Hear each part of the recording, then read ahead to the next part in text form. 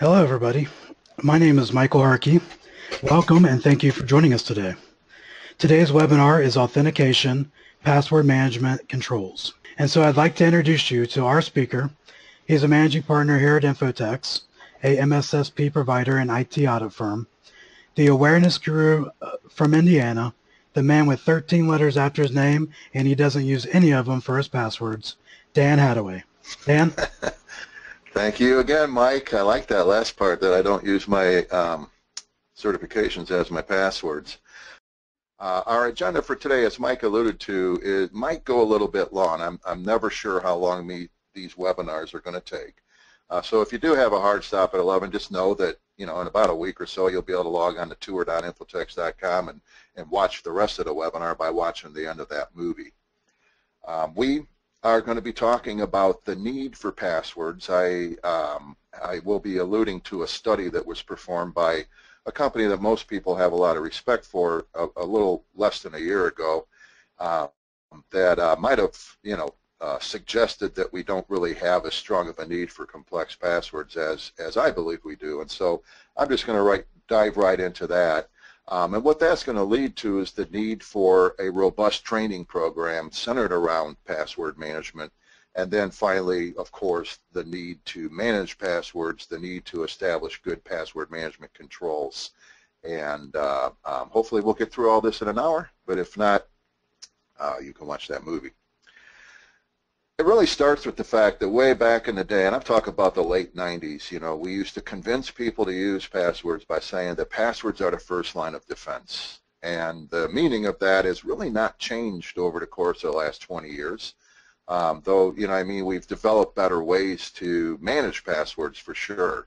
Uh, but I'd like to just kind of back away from the trees to the forest a little bit and just walk through the anatomy of an attack. And this is just a typical attack. Uh, what we're really talking about here is, is a, a corporate account takeover.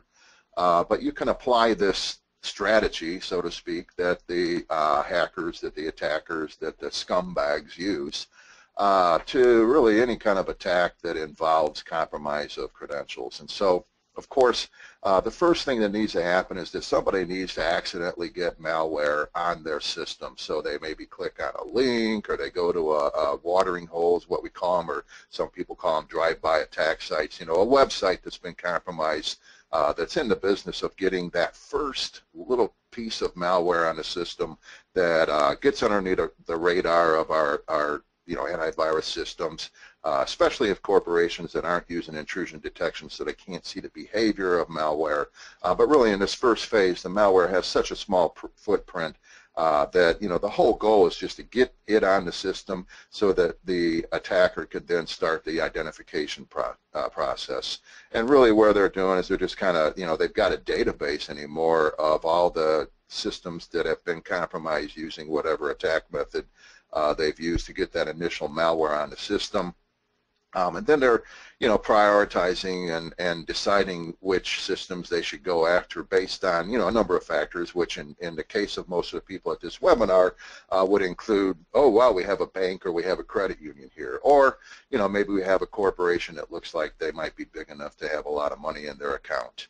Uh, we did see, uh, you know, where people, it seems from at least a Russian-speaking country, uh, was actually calling Americans, trying to, you know, sort out, you know, which Americans have a lot of money, which Americans don't, so that they can eventually, somewhere down the road, use that in their uh, prioritization methodology.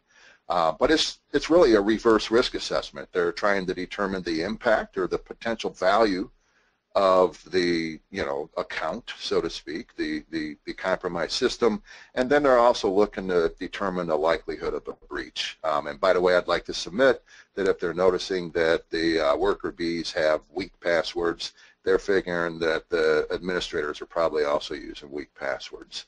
Um, and this really is a process. Uh, once we've identified who we want to attack, then we're going to start trying to get more robust malware on the system. When I say we, I'm really talking about the bad guys, by the way. But uh, you know, they they might use additional attack methods. They might just go ahead and use the original malware to help them get additional malware on the system.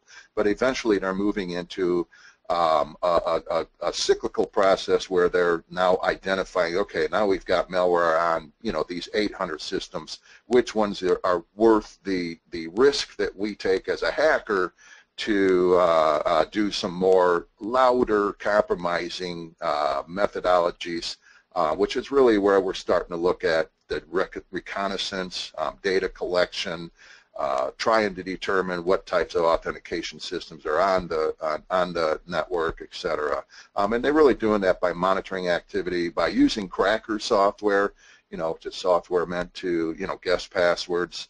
Um, and, you know, ultimately what they're trying to do is they're trying to compromise their credentials, uh, hopefully some administrator credentials, or if not administrator, maybe the accounts payable uh, person in, in this particular case or, you know, somebody that has the ability to get them into an online banking system.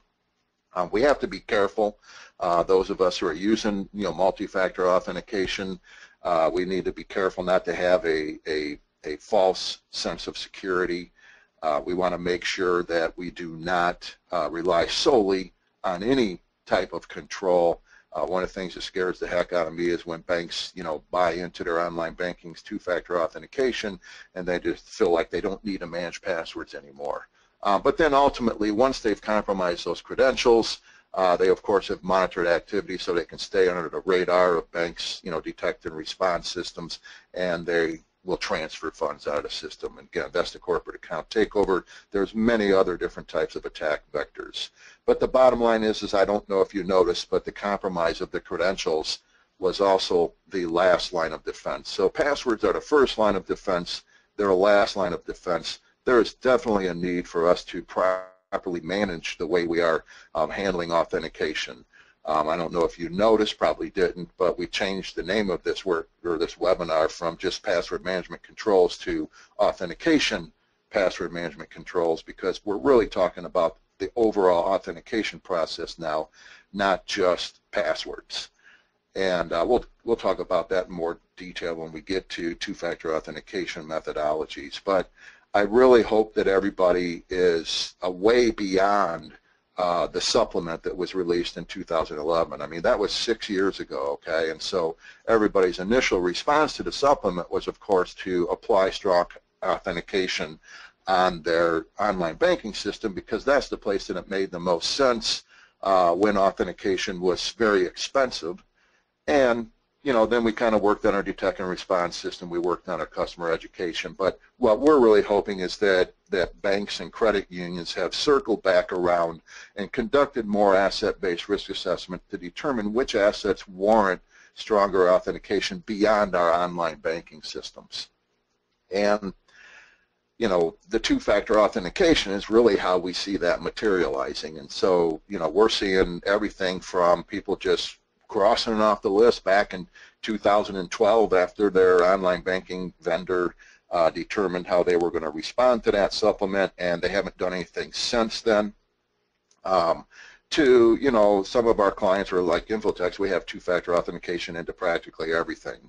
Um, we have what you know, we have where you are, we have who you are authentication into all of our systems uh, in the hopes of frustrating the heck out of the uh, hacker who's in the identification process. What our goal is is that when they're on our network, if they ever get on our network, and you know I'm knocking our wood right now just to make sure that that's not something that happens. I yes, I am superstitious, uh, but the point is is that we want to frustrate the heck out of the attackers. We want them to think, man, you know, even if I could get through all these layers of security, there's a good chance I'm going to get caught. I'm going to go down to you know the network street and attack somebody else who's using weak authentication systems. And so just as a reminder, you know, there's really three factors of authentication. Um, I maintain where you are is a fourth factor of authentication, but I've had debates with technical people that say where you are is really represented by what you have. So you have a global positioning um, system, you know, address, so to speak, or you have an IP address or whatever. Um, and so I've, I've, agreed with them that really there's only three factors of authentication, but I also submit that in the new era of mobile devices, global positioning systems, et cetera, we really can leverage where we are. Um, uh, and yet, you know, what you have, like an IP address, whitelisting IP address is a really good form of a second factor of authentication. Um, I've seen a lot of, you know, websites. Uh, uh, we resell Track, which is a risk management application, and uh, you can't log into Track unless you've already given them your IP address. Now, IP addresses can be spoofed, of course, but it lowers the likelihood that a bad guy is going to get into your risk assessment. So back to the agenda. We talked about the need for authentication. I hope I made a decent case for that. Uh, now I'd like to talk about the need for training. Um, training is an important part of password management, uh, primarily because we can't really technically enforce strong passwords yet, unfortunately. Um, not to mention that two-factor authentication is sometimes, at least for you know the user level, um, complex or you know difficult. Uh, we want to make sure that they know that hey, you know, I mean, if if you're getting a one-time password on your cell phone, that means you got to be very careful what you do on your cell phone because the bad guys might try to get text forwarding malware on your cell phone, right? And so training is a very important aspect. Um, if you've been to any of my webinars or workshops, you know that I believe that awareness is 9-11 to a battle. I've been saying this since about 2002. Um, and what I mean by that is that we were far more secure the day after 9-11, or I'm sorry, after 9-11 than we were the day before 9-11. And uh, I, I, I, always used to say 911, by the way, until somebody pointed out that that's actually not the way it's supposed to be worded. It's, it's worded 911, right? And so the only thing that changed from, you know, September 10th to September 12th is that we all became aware of the fact that there are threats and there's vulnerabilities and, and, and threats can exploit vulnerabilities to cause a lot of damage. That awareness made us far more secure as a nation uh, the awareness has been dulled since then. Um, I think that we've proven, you know, over the course of the last 16 years that we need to constantly remind ourselves of why we have a war on terror. And the same is true with any type of information security control. And so what I encourage my clients to do is to talk to their team on a regular basis about why we have passwords, um, about why we need strong passwords, um, the definition of strong passwords, and then there's a whole set of things we want to make sure our team is aware of in terms of password protection. You know, don't be writing your passwords down. If you do write your passwords down, do it in a safe way. You know, quite frankly, I'm seeing a lot of uh, banks and credit unions move towards, instead of saying you aren't allowed to write your passwords down, uh, they're moving more towards a, you know, here's the best practices surrounding what we now call password safes. In other words, you know, it's okay to use KeePass as an example, um, but if you use KeePass, you have to have extremely strong password to get into it, you know, blah, blah, blah.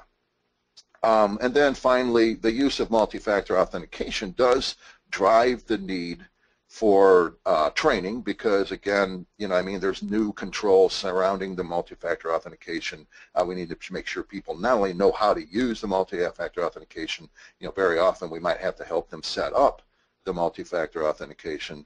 Uh, but we also need to make sure that there, A, is not a false sense of security because they're using multi-factor authentication, and B, the threats and vulnerabilities that are associated with multi-factor authentication. And then finally, we need to make sure our users know that we are testing their uh, password management on a regular basis. And if you aren't doing that, I strongly suggest that you start you know, um, uh, conducting password file analyses as part of your audit process. Um, all of your audit firms know how to do it. They're all pretty good at doing it. And what you need to realize is that if users aren't following password policies, which they can get away with because we can't technically enforce strong passwords, uh, they're probably not following other policies as well. And so we need to be aware of the risk that we face. So, of course, we need to, again, remind our users as to why um, passwords are required. Um, and I, I, find that that, you know, uh, this, you know, Vince Lombardi, I don't know if you, everybody knows this, but the first day he went in to meet with the Green Bay Packers, he spent the whole morning talking about the fact that this is a football and, and this is what footballs are used for, et cetera, et cetera. And uh, that's really what we need to do with our users on a regular basis. We, we need to talk to them about why we have passwords, what do they do. You know, the primary purpose of a password, in our opinion, is that they're meant to buy time. That, that if you lose uh, your cell phone and you don't have screen lock on your cell phone, somebody that finds that cell phone has zero seconds to be able to compromise your you know, security. Um, whereas if you have screen lock on it, if you have other controls, not, it's not just the password itself, but other password management controls could include, you know, if somebody tries to guess this password wrong 10 times in a row, we're just going to reset the phone to factory, factory, you know, default settings. Um, that is definitely um, an important, you know, component of password management that really is not involved with, you know, the user itself. But the point is, we, our users need to understand that passwords are meant to buy time, that authentication is meant not only to stop people from just walking into the system, but to frustrate them, to make them realize that there are other systems out there that might be easier to attack, and that since this system is using strong passwords, there's a likelihood that I could get caught by trying to compromise this system. And then finally, I, have encouraged my clients to just go ahead and admit that yes, passwords do irritate and confuse us. It's it's not our favorite subject. You know, passwords are a pain in the butt. Let's face it. But there's a very important reason why we have passwords. We all have to take our shoes off in the airport, and I don't see anybody complaining about that when they get in line. But I do hear people complain about passwords on a regular basis. Let's talk to our users about that. Um, one of the things that I, I, I, really would like to do a shout out to Al Furleton, by the way, of First Bank Richmond, because he's the one that helped me come up with this concept when we were um, providing user awareness training to his bank. And one of the things that uh, I really, really appreciate how Al helping me realize is that if we can talk to our employees about the difference between network security and physical security and help them understand that they would never share the keys to the bank and they certainly wouldn't share the combination to the vault uh, just to anybody who asks for it, that, that they respect that, that those two means of authentication. That's what they really are. Um, and if we can just help them realize that their network password is the password to the building and their core password is the password to the vault, that alone is a really good training trick that you should be using when you talk to your users about the use of password. And would we use the same key to get into the bank that we use to get into the vault? Wouldn't that be like, that's just so obvious that that would be dumb. Why, why would you use the same key to get into the bank that you're using to get into the vault? And likewise, we want to make sure that that network password is a different key than the key we're using into the core.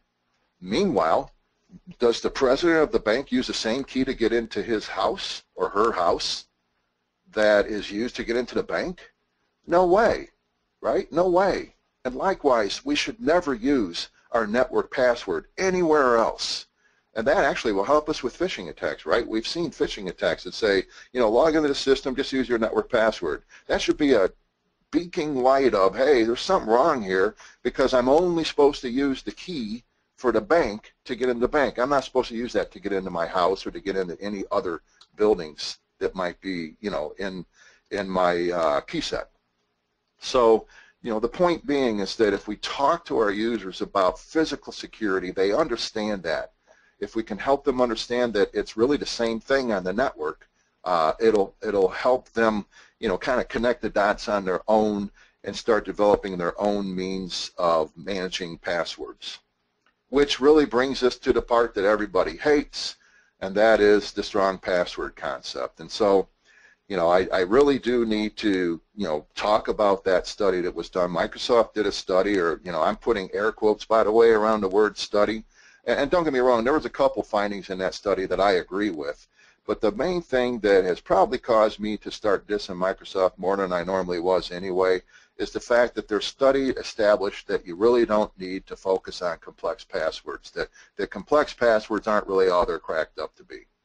And as a person who have watched incidents materialize for, what, 18 years now, um, I'm in strong disagreement with that notion. Um, as a matter of fact, this morning is kind of interesting, uh, but you know, as I'm getting ready, drinking my cup of coffee, I'm reading through, I've got a Google alert on information security studies, and I saw this study by a, um, a, a, company I hadn't heard of, Ixia, before, um, and they've got a new, you know, information security study uh, that they uh, used um, they used a honeypot where they kind of set up a fake network that's really easy to get into.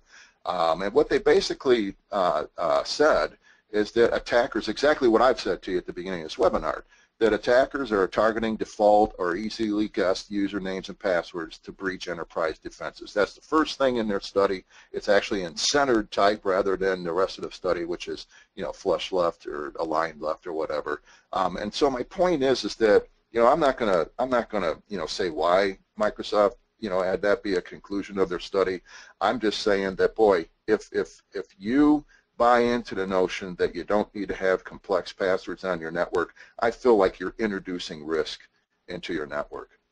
And so what I like to do when I'm teaching people about the need for complex passwords is I've already talked to them about cracker software and and how cracker software makes guessing passwords a lot easier because it's an automated process you know there's there rainbow tables is what we call them they're just kind of you know, tables of predicted passwords, and then I talked to them about this password here.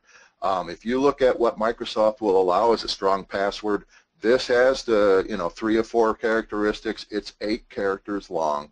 But in terms of cracker software, if somebody gets access to your system, if they find a laptop and they want to try to crack through that laptop's password, uh, how many characters is this password? And so be thinking about that, okay? So so what I'm hoping you could be thinking to yourself is, is this, you know, if you count them up, there's one, two, three, four, five, six, seven, eight characters in this password.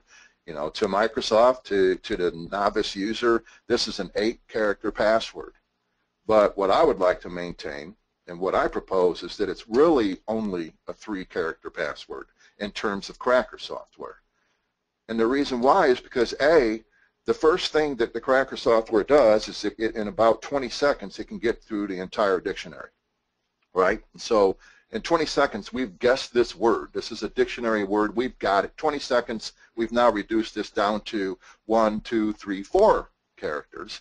But the next thing it's going to do is go through the entire, you know, I mean, it doesn't take, it probably takes less than a, a, a tenth of a second to go through, you know, one through nine and apply that in all the places that is identified that the password has. And so now there's two characters, and once it finds, you know, it's going to go through the special characters. Once it finds the exclamation point, it's going to, you know, apply that across the board. And, and, and that password, that great eight, exclamation point, exclamation point, that password probably will, will buy you maybe 40 seconds, maybe 50 seconds. Um, if we do a password file analysis against a, a client who has this as a password, it's going to show up in our password file analysis test because it is using a dictionary word. And that's really the part that it's really hard for Microsoft to enforce. And again, I don't want to, you know, put any motive behind their study, uh, but all I know is that we need to train our employees on these six strong password factors if we really truly want to stop people at the identification part. If someone unfortunately gets malware on our network, we don't want them to see that we're using weak passwords. We want them to see that we have a very robust password management process and therefore we need to teach our employees to use these six strong passwords. Or passwords that are longer than 14 characters uh, for, you know, there's, there's good reasons that actually Microsoft splits that password into two different hashes, so the, the probability of guessing a password that's longer than 14 characters goes down substantially as well. And we need to test our password strength if we really truly are going to assure ourselves that we are using strong passwords.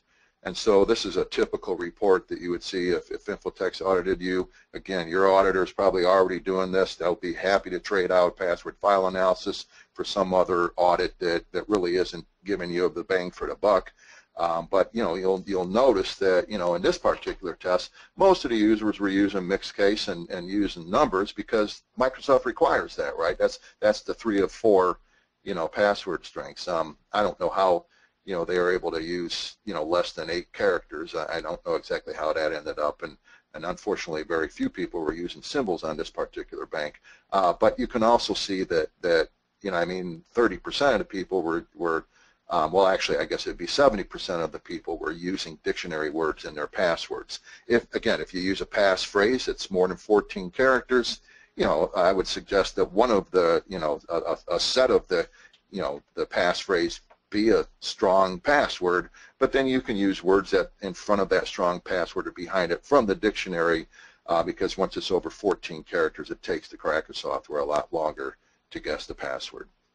So, having spent the first 30 minutes introducing you to the need uh, for managing passwords, I would like to now kind of talk about how we need to cure the complexity that we face because we have to teach people how to use passwords. We have to teach people how to manage passwords. We have to teach people how to protect their passwords, not to share passwords, not to write them down, or if we do write them down, it should be in some form of a password safe, etc. And you know, we do that at Infotex by establishing policies and procedures and then, of course, making sure people are following those policies and procedures. And so the actual password policies that our users are to comply with is really a part of the acceptable use policy or, or whatever your computing policy that all users sign off on is. You know, we consider that to be part of the awareness training program. And so uh, for those of you who are new to Infotex webinars, uh, we've mapped the FFIEC guidance to eight different processes. And the most, I mean, not the most important process, yeah, I probably shouldn't say that, but, but to me, one of the most, you know, um, uh, glaring, you know, processes, if it's not in place, is, again, the awareness process. And so uh, um, as a part of the awareness process, there should be an acceptable use policy, and that's really meant for our users.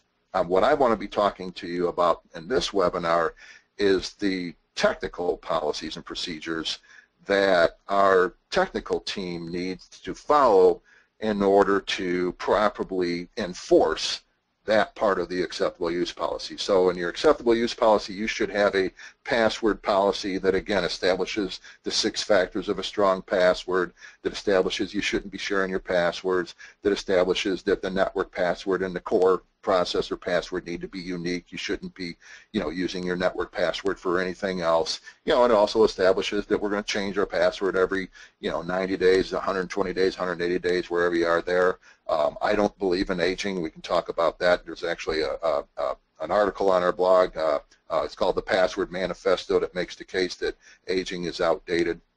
Um, but what I'm really talking about here is the management piece procedure, the password management procedure. Uh, some of my clients are getting our boilerplate and they're changing that to say authentication management uh, process or authentication standards or whatever. Uh, but we're talking about a document that your technical team reviews and updates on an annual basis that establishes this is everything we're doing in the background. Uh, we're, we're making sure the incident response team is aware when people are failing our password tests um, so that we can know that, hey, you know, there's heightened risk that if malware does end up on our system, whoever's using that for the identification process is seeing that we might be a likely target, that the likelihood of a breach is higher because we're not using strong passwords, etc. Um, most of our clients are considering password management to be a part of their access management process.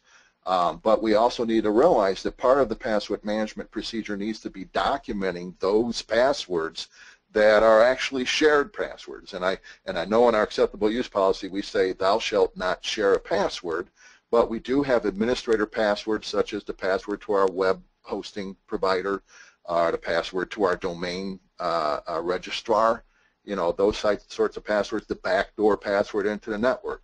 You know, those passwords are, are what we call shared passwords. And from a business continuity perspective, we want to make sure that we don't have a situation where uh, someone leaves the company and now they can hold us at ransom uh, because nobody knows what the administrator password is and we can't, you know, uh, find the vendor, you know, somebody at the vendor that will help us get in the back door to a particular application. Um, and so we really do have a need uh, uh, for a password management procedure. As you can see, it it really kind of um, affects uh, quite a few different uh, processes in in our overall IT governance program. Uh, meanwhile, I alluded to this earlier, but I do strongly suggest that people pull out the original guidance about authentication that was actually released, I think, in 2005 or 2007. I can't remember when. Um, but it, it really establishes what factors should be considered when you determine where you should apply stronger authentication. Uh, supplement didn't really speak to that because I think they were just wanting to motivate vendors to, to apply true two-factor authentication. Um, but if, if, if you're now doing an asset-based risk assessment, look at those assets and where you have the greatest change in risk, in other words, you know, if you take inherent risk and you subtract residual risk, that's the greatest asset you should consider applying two-factor authentication to that asset. Um, and again, you know, I mean, we have a, a, template you can use that we call the authentication risk assessment, but any kind of, you know, application inventory is a great starting point for that. Which applications represent the most risk from an authentication perspective? Um, what I'd like to do now is just kind of uh, let everybody know there is a deliverable. Michael will be, um, I, I, I, feel like, I think he's going to just send that to you using GoToWebinar. Uh, but it is a, a, a Word document. Um, if this is, if you're new to our webinars, uh, we offer a lot of boilerplates. Um, whenever you come to a webinar, we'll have at least one boilerplate for you to take home and customize to your own bank. Um, all of our boilerplates start with this kind of language. You know, it talks about the color coding. It, you know, it talks about what we call our transfer of, of um, copyright agreement. Uh, we still have a long ways to go in, in terms of converting our boilerplates into maturity colors. Uh, this does not uh, include maturity colors. Uh, and, and, for those of you who are complying with the cybersecurity assessment tool, you know what I mean. Um, if you don't have to work with the cybersecurity assessment tool, you can just ignore that anyway.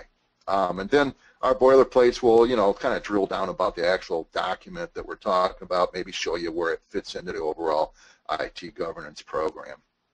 And um, then, of course, you know, I mean, we've got this customizable template. And so, uh, and by the way, brown means this is something that, you know, larger banks should consider. If you're a bank under, you know, 500 million, I don't think you really need to, to worry about the brown stuff, brown stuff um, other than know that a lot of uh, our smaller clients will include the introduction in the first time they, you know, release a document. Um, and then, you know, the first time they update it, they take that out because they feel like everybody's been induced to, introduced to the need, and they're trying to keep the number of words people have to read whenever the document is released uh, to a minimum. Um, but anyway, you know, it includes your typical, you know, standards and procedure language. Um, you know, we want to classify, you know, passwords as, you know, critical information. Here's a great example, though. Anything in red, something you want to customize to your own organization. Um, most banks and credit unions don't really have a data ownership policy anymore. That's that's probably in your risk management policy or whatever. But but you know, access management procedure, by the way, is where I see a lot of people determining and establishing what classifications of information are going to be. Um, you know, we're talking about how to enforce you know, password guidelines. We want the technical team to, to know this is usually just mirrored right from the acceptable use policy. Uh, but we, we want it in the procedure this sort of technical team knows that, hey, anytime we can enforce this technically, great. Uh, but if you're out there and you're seeing it, if you talk to somebody and they're, you know, they sent you a password, an email or whatever, we definitely want to talk to our users about, you know, the fact that, hey, don't do that again. Um, we talk about how to set up new users, uh, you know, how are we going to handle resetting passwords, uh, how do we define strong passwords? Again, this is a mirror from the user, I mean the acceptable use policy. Uh, the acceptable use policy probably doesn't word it exactly this way, um, other than it does have those six factors in there. Um, how are we going to train our users on passwords? You know, and, and bigger banks want to document that. Smaller banks might not want to paint themselves into a corner with that. Um, how do we address password aging? Um, again, I, I feel like password aging was invented back when it took 90 days to, you know, hack into a, you know, hack through a password, but now it can take 20 seconds. I really don't feel the need for password aging. Uh, and don't get me wrong, I've got another article that says, you know, Password Manifesto Revisited, uh, where really it talks about where password aging is actually a good control. Um, and, and, and a great example of that is that, you know, once every once in a while um, on a periodic basis, Infotex changes the credit card number for all of our credit cards. Um, that truly is password aging. Your credit card number is a password, by the way. And so we change that, you know, on a periodic basis. I um, actually we change it once a year. I guess I'm ashamed because I think maybe it should be changed once every 180 days, um, or as needed. And that's really the big deal. If you hear that Yahoo is attacked and you have a Yahoo email um, address, uh, you better get out there and change your password, which seems to be like on an every 45 days basis anymore. Um, that was a joke. Uh, how are we going to monitor pretty appropriate usage of passwords? Um, and again, if you're a small bank, maybe you don't include this in your finalized document, uh, but you certainly are going to want to consider this. And, and maybe this is something that you kind of shovel over to your incident response team when it's time to provide additional you know, training to the incident response team. Um, how are we enforcing, you know, standards, you know, invoking the, you know, we, we at least want to, you know, use what Microsoft offers and, and any other application, by the way, if your core uh, gives you the ability to enforce strong passwords, we want to see you turn that on when we come out and audit you, right? Um, and then finally, you know, what are the configuration standards? How are we going to address, you know, a locked accounts? We usually split that between, you know, the network and the core and everything else. Um, what do we do if passwords are compromised? You know, how are we going to respond to that? This, again, is pretty important information that you might want to share with your incident response team if uh, you bought into the decision summary approach of training your incident response team, which is, you know, in the movie we have from the February webinar. Uh, this is a, an item that's on there. This is something that we definitely want to make sure the incident response team is aware of so that we can get out there and quickly have everybody uh, change their password if we suspect that you know, there's a compromised password on the network. Um, this is where we establish uh, the testing that I've been alluding to. Um, now again, a small bank, maybe you don't want to actually put this in writing, but I certainly wouldn't not do this if you're a small bank. As a matter of fact, I feel like the smaller banks might, you know, be in a position where maybe the likelihood of an attack is lower because you're a little bit off the radar, but the impact is much greater. A small bank, if somebody was to get an administrator password um, at a small bank, you know, that's the end of the story there. Um, so yes, the likelihood might be lower, but the impact is black swan. Um, how do we deal with anonymous access? You know, um, how are we handling the encryption of passwords? Are we making sure everything's masked? This is kind of old. Uh, uh, uh, other than if you see an application that is not masking passwords, I would question the security of that application. That's for sure. Um, this is kind of the newer area that you know Sean you know has spent a little bit of time on. Actually, this part was probably circa 2012, uh, but this is the big thing that we've added into here. Um, uh, I will say, you know, since they've been dissing Microsoft, let me give them a you know a kudos for the Windows Hello system. Um, it is a biometric means of authentication where uh, using infrared and you know of course imaging technology, um, it's pretty good at knowing that you're you. Um, now, the only thing I don't like about Windows Hello, and I'm hoping that they're eventually going to fix it, is that if it doesn't recognize your face, then all you have to do is put in a four-digit password or PIN, and you're in the system. So, so really, all we have, I mean, it, it's kind of one of those things where they're treating you like you're a good guy.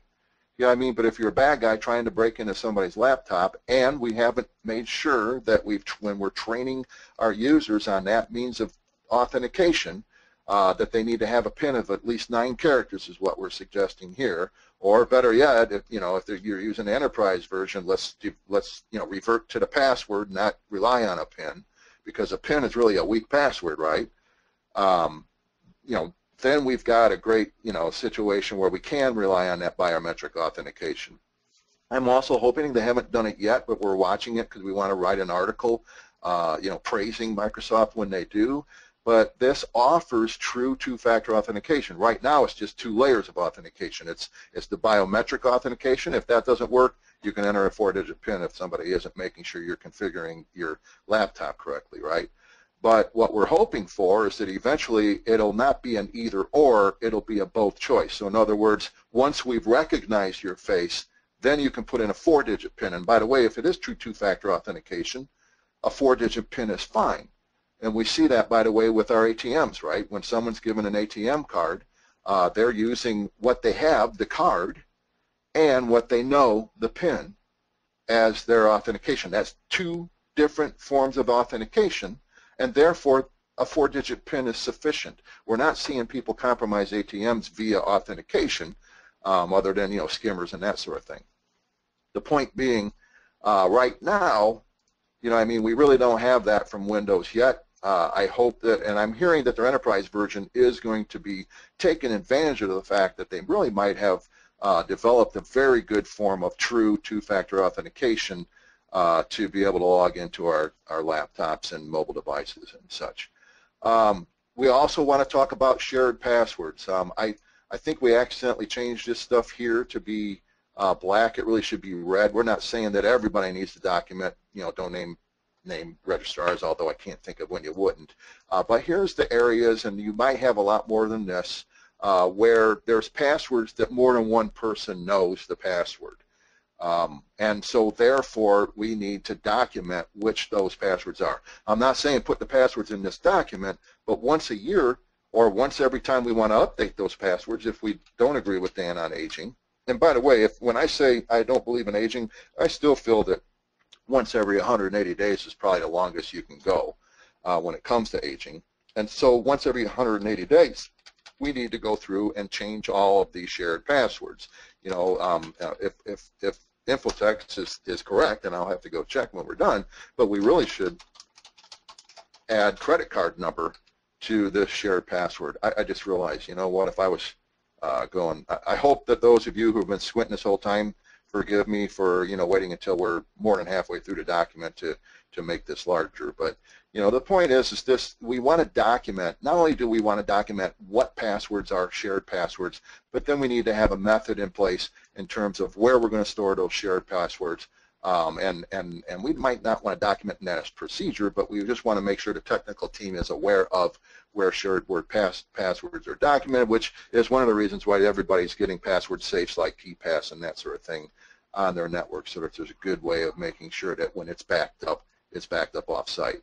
Uh, we want to have a situation, by the way, when if we're in a business continuity situation, a disaster, um, we can get to those shared passwords off-site. Um, how are we going to handle default passwords? Uh, how do we handle administrator accounts? I'll talk about that a little bit later in uh, my presentation. Um, where are we requiring people to store passwords? Uh, an inventory of keys, certificates, and accounts. You know, if you do have uh, uh, laptops that are using some of the less expensive means of encryption where, you know, we're, we're really creating a container on the laptop and there's a key for that container and then there's a key file that, you know, the, the, um, the encryption system has to use along with the key, which by the way is what you know and what you have.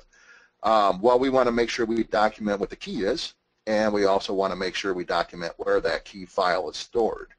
Um, we also are going to run into quite a few applications, and by the way, some of you might have been sitting throughout this whole webinar saying, well, that's fine, but my core processor doesn't allow us to use strong passwords, or, you know, I mean, uh, we can't, you know, do this, or we can't do that. Well, we want to document all those risk acceptance decisions. And, and, and Infotex has a, you know, a healthy list of where we can't comply with our password management procedure because of the fact that, uh, uh, quite frankly, uh, the applications won't allow us. Uh, many of those are web applications, by the way, that, that for some reason they don't allow the six factors of authentication. Well, we want to document that because that's accepted risk. We want to make sure that we're all aware of that accepted risk because, again, awareness is nine-tenths of the battle.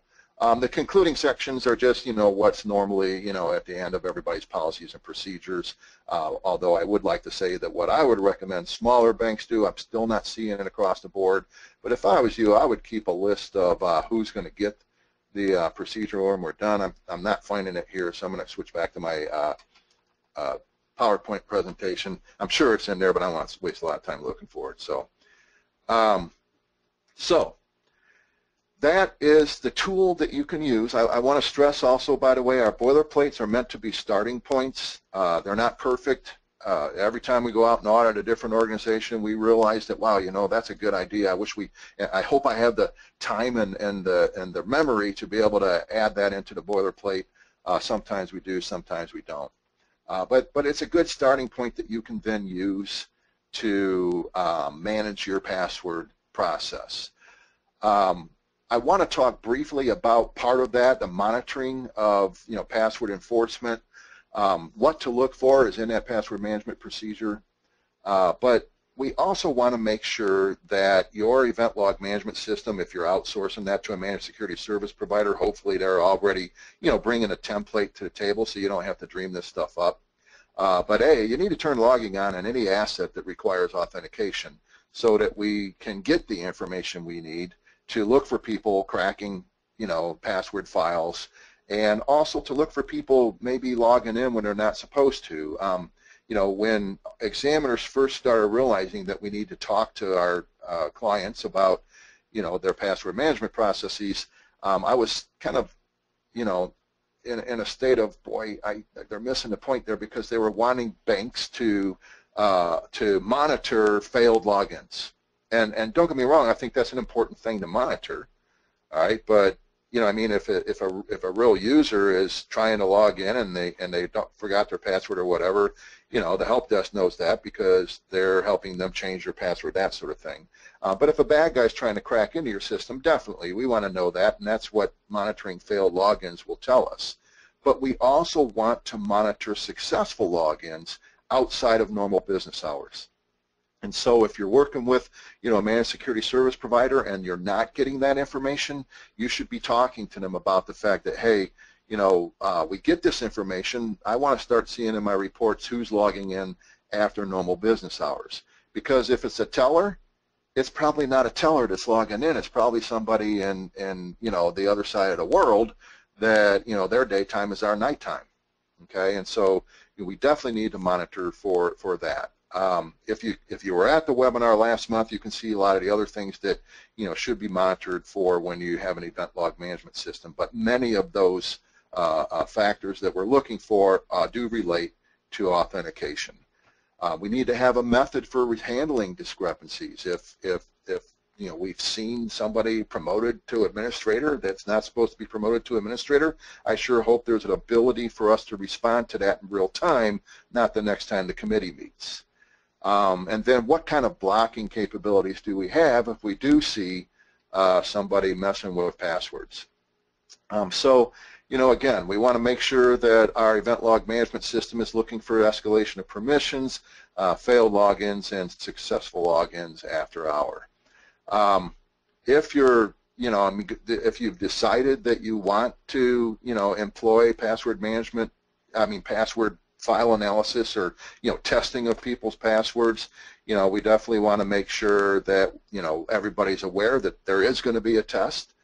Um, and then we also want to just not only test their passwords but we also want to test the event log management system. So if your MSSP is watching for failed logins if they're watching for escalation of permissions or whatever let's go ahead and you know I mean escalate permissions on an account just to make sure that they're responding to that in real time um, if we've decided that I want to know anytime somebody logs into this backdoor administrator account, let's test that. Let's have somebody log into the backdoor administrator account and see how long it takes for your MSSP to notify you that, hey, somebody's logged into this account that you want us to watch. Uh, we have a lot of our clients are having us, you know, we're watching their networks, we're watching their event logs. They will have us notify them anytime a third party logs into their system. Usually it's legitimate reasons. But if somebody hacks into the third party, we want to know that they're logging into our system. And so, you know, I mean, hopefully you're shutting that access off. Uh, but some of our third parties might have continuous access to our system. So let's watch when they're logging in and, by the way, logging out of the system. And then finally, if you are doing a password file analysis, uh, one way to kind of apply some punitive uh, um, processes to the users who failed that password test is that they're going to have to go out and change their password, right? Because you now know their password. We have a unique ID situation, and so they're going to first thing you have to do when you get a, uh, a file analysis back from your auditor is make the people who failed the test go out there and change their password. Um, we also you know, I mean, need to make sure that, you know, we're, we're, we're doing our testing usually on the network. We're, we're, we're able to enforce to a very minimal amount on the network, you know. So what we need to realize is that if somebody is not using strong passwords where we can test them, there's probably an 80 to 90% chance they're not following password processes where we can't test them. And therefore, we need to make a bigger deal out of that than I see some of our clients making. Um, and then finally, you know, when we do learn things from our password management processes, we have to react to them. Um, and, and as a great example, I'd like to just point out that, you know, a while back, this was in 2013, um, our systems were telling us that, you know, people were trying to hack into our blog. Now, the good news is, is our blog is public information, but, you know, there's still reputational risk. If they were able to make it into our blog, uh, they'd be able to post, you know, embarrassing articles or whatever. Um, they would not be able to get to our internal systems from it, but still there's a lot of reputational risk. And, you know, just the, the notion that somebody was trying to get into our, you know, blog, and of course they, they were trying to get into our administrator account. And so how do we react to that?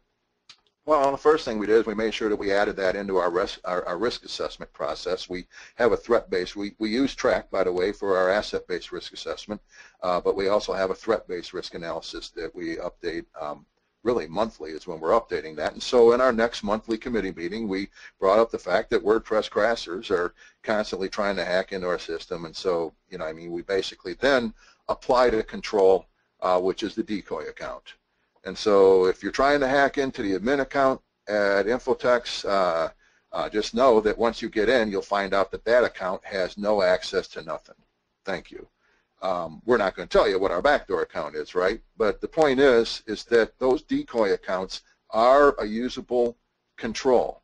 Now, in our system, we're a small organization too. I didn't want our auditors and examiners to ask, well, why don't you have a decoy account on this? Why don't you have a decoy account on that?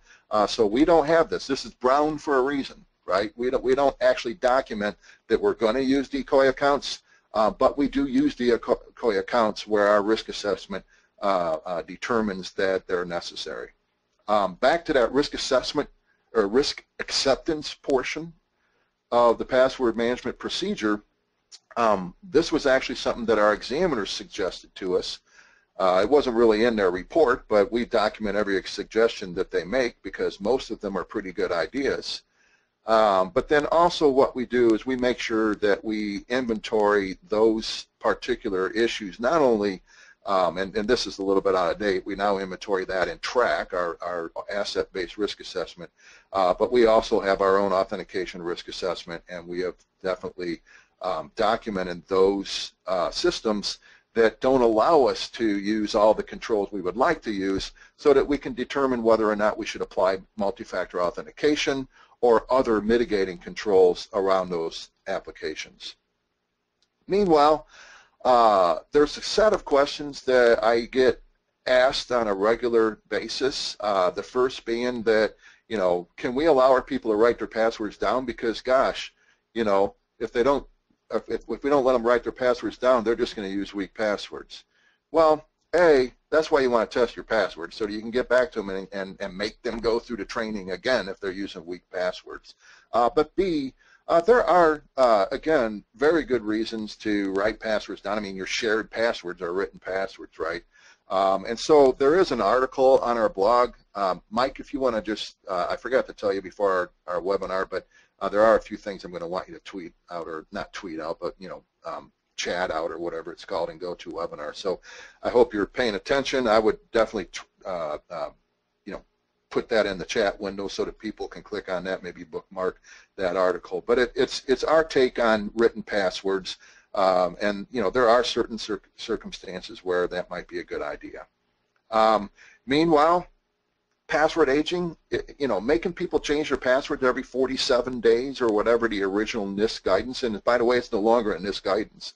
Um, but but that's a myth now, in, in, my opinion, because gosh, if people have to change their password every 47 days, well, that's what's more reason why they should write them down, or use weak passwords, or just add a number after the password every 47 days. We're we're we're creating a false sense of security if we are making our users change their passwords on a regular basis, thinking that that's gaining security. Now, um, again, this is the article where we talk about the right time to apply, uh, you know, password aging.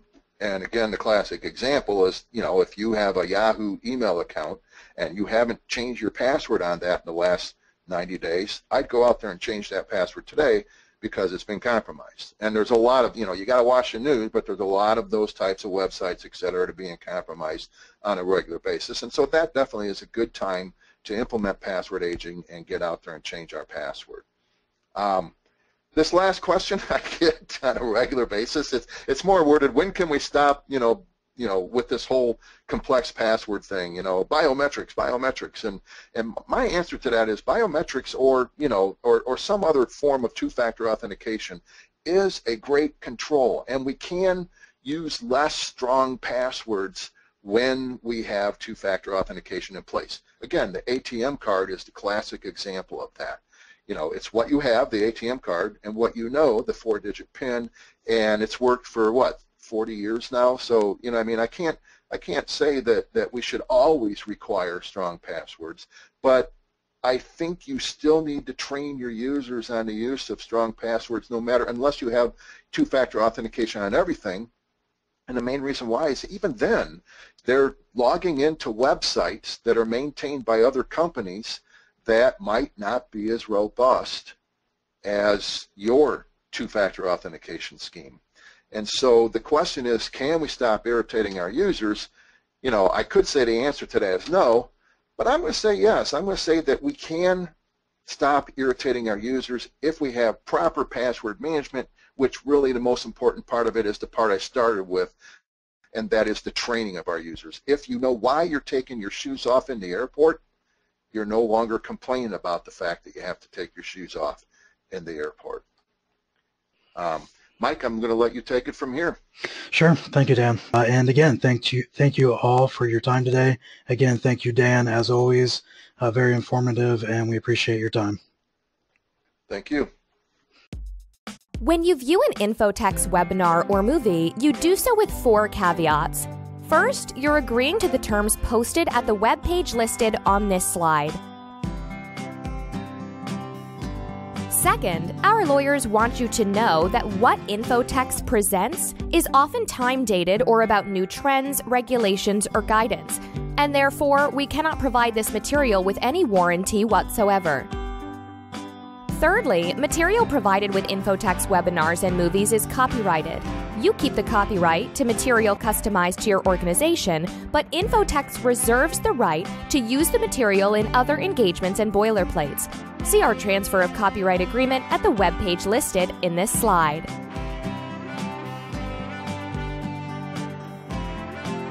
Finally, those who view our webinars or movies may be added to an email mailing list. If you do not wish to receive notice of additional educational opportunities, please accept our apologies and please opt out at the web page shown on this slide.